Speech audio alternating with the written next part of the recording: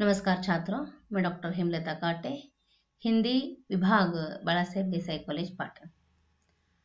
शिवाजी विश्वविद्यालय के बे भाग दोन के हिंदी के अंतर्गत सेमेस्टर दो, अर्थात पेपर नंबर पाँच के लिए जो रोज़गार परक हिंदी पेपर रखा गया है, उसमें जो हिंदी के मुहावरे हैं और उसका अर्थ है, इसका अध्ययन आज हम करेंगे। इसके पूर्व हमने अन्य घटकों का परिचय देख लिया है। आज हम जो मुहावरे अध्ययन के लिए रखे गए हैं, उसका अर्थ क्या है, ये देखने का प्रयास करेंगे। एक बात ध्यान में रखिए, आपको इन मुहावरों का वाक्यों में प्रयोग नहीं करना, केवल मुहावरे और उनका अर्थ आपको ध्यान में रखना है। उनका अर्थ क्या है, ये जानने से पूर्व मुहावरा किसे कहा जाता है, इसका परिचय यहाँ संक्षेप में। मुहावरा एक अरबी भाषा का शब्द है। अरबी भाषा का शब्द है। उसका शाब्दिक अर्थ होता है अभ्यास। शाब्दिक अर्थ होता है अभ्यास। अतः मुहावरा किसे कहा जाता है? हिंदी में ऐसे वाक्यांश होते हैं जो साधारण अर्थ को छोड़कर विशेष अर्थ व्यक्त करते हैं, उन्हें कहा जाता है मुहावरा। यानी विशेष अर्थ देने वाले वाक्यांश को मुहावरा कहा जाता है। शब्द की शक्तियाँ आप, आपको पता है। अभिदा लक्षणा व्यंजना। अभिदा यानी शब्द का सामान्य अर्थ। लक्षण यानी थोड़ा आगे उसका जाने वाला अर्थ। और व्यंग व्यंजना यानी व्यंग्यार्थ। साधारण अर्थ से परे अर्थ होता है उसे कहा जाता है व्यंजना व्यंग्यार्थ। ऐसा ही कुछ विशेष अर्थ इन वाक्यांशों का होता है, तब उसे कहा जाता है मुहावरा। आपके अध्ययन अध्ययन के लिए जो मुहावरे हैं, वह मुहावरे और उनका अर्थ यहाँ प्रस्तुत है। पहला मुहावरा है आकाश टूट पड़ना, जिसका अर्थ आप जानते होंगे, आकस्मिक विपत्तियों का आ जाना। आकाश टूट पड़ना, यानी आकस्मिक विपत्तियों का आ जाना। आज की परिस्थिति ऐसी है, आकस्मिक विपत्ति आ गई है कोरोना की।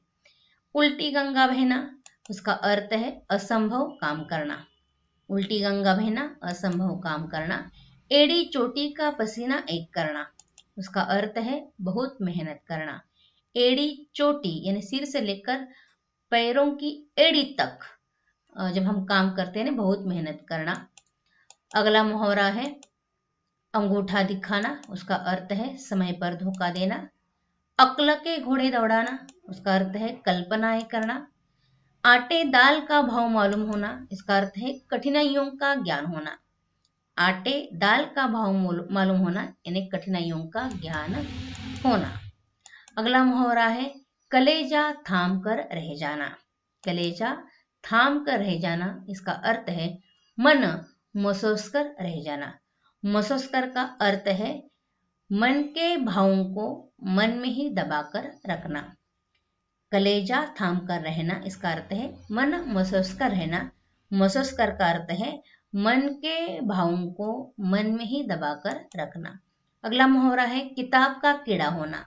किताब का कीड़ा होना, इसका अर्थ है हर समय पढ़ते रहना।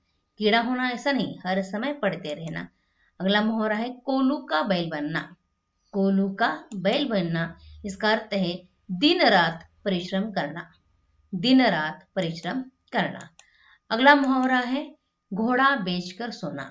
घोड़ा बेचकर सोना, जिसका अर्थ है निश्चिंत होना। निश्चिंत होना। अगला मुहावरा है चार चाँद लगाना। चार चाँद लगाना, जिसका अर्थ है शोभा बढ़ाना। शोभा बढ़ाना। उसके आगे मुहावरा दिया है, छाती पर मूंग दलना। छाती पर मूंग दलना, इसका अर्थ है किसी से दुख की बात कहना। किसी से दुख की बात कहना। अगला मुहावरा दिया है आपके अध्ययन के लिए, गड़े मुर्दे उखाड़ना।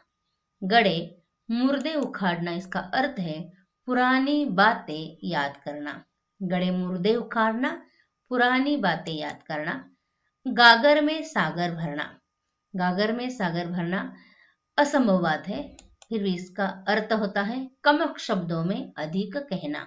गागर में सागर भरना अर्थात कम शब्दों में अधिक कहना। घाव पर नमक छिड़कना।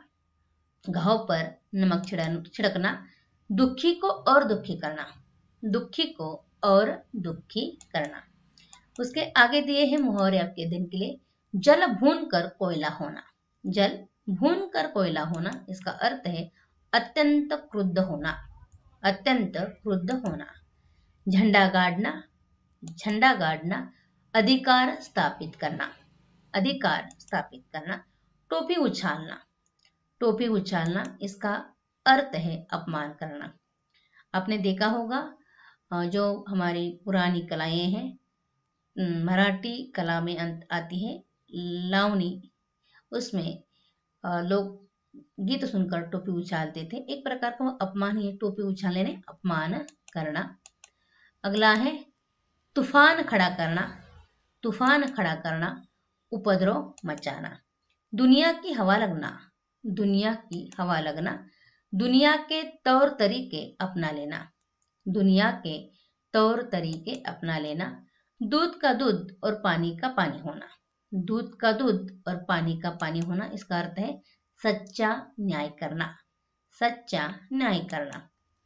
अगला मुहावरा आपके अध्ययन के लिए दिया है, धोती ढीली होना। धोती ढीली होना इसका अर्थ है डर जाना। धोती ढीली होना इसका अर्थ है डर जाना। नानी याद आना, होश उड़ जाना। नानी याद आना, होश उड़ जाना। मुँह काला करना उसका अर्थ है बदनाम होना। सिर आँखों पर लेना, सिर आँखों पर लेना, बहुत आदर सत्कार करना, बहुत आदर सत्कार करना। इस प्रकार ये 25 मुहावरे आपके अध्ययन के लिए दिए हैं।